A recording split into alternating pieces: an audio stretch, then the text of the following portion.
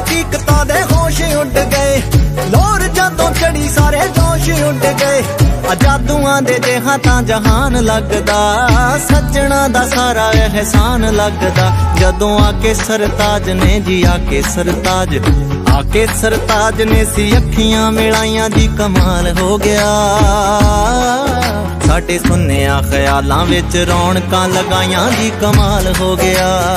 ਹਾਏ ਸੁਨਿਆ ਖਿਆਲਾਂ ਵਿੱਚ ਰੌਣਕਾਂ ਲਗਾਈਆਂ ਜੀ, ਕਮਾਲ ਹੋ ਗਿਆ। ਆ ਮੁਹੱਬਤਾਂ ਨੇ ਰਾਹਾਂ ਤੇ ਮੁਹੱਬਤਾਂ ਨੇ ਰਾਹਾਂ ਹਾਂ ਮੁਹੱਬਤਾਂ ਨੇ ਰਾਹਾਂ ਉੱਤੇ ਰਿਸ਼ਮਾਂ ਵਿਛਾਈਆਂ ਜੀ, ਕਮਾਲ ਹੋ ਗਿਆ। ਆ ਸੁਨਿਆ ਖਿਆਲਾਂ ਵਿੱਚ ਰੌਣਕਾਂ ਲਗਾਈਆਂ ਜੀ, ਕਮਾਲ ਹੋ ਗਿਆ। ਸੁਨਿਆ ਖਿਆਲਾਂ ਵਿੱਚ ਰੌਣਕਾਂ ਲਗਾਈਆਂ ਜੀ, ਕਮਾਲ ਹੋ ਗਿਆ।